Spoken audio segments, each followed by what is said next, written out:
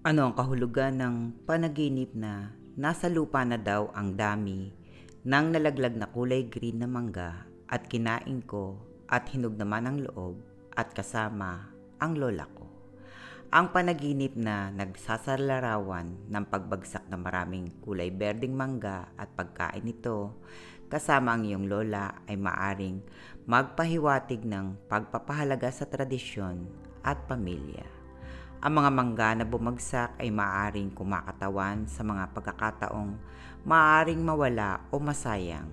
Ngunit ang pagkain nito at ang pagiging hinog nito ay maaaring magpahiwatig ng pagtanggap at kasiyahan sa kabila ng mga hamon. Ang pagiging kasama ang iyong lola ay maaring magpahiwatig ng pagkakaroon ng gabay at suporta mula sa mga nakatatanda sa iyong pamilya sa iyong mga pagsubok sa buhay.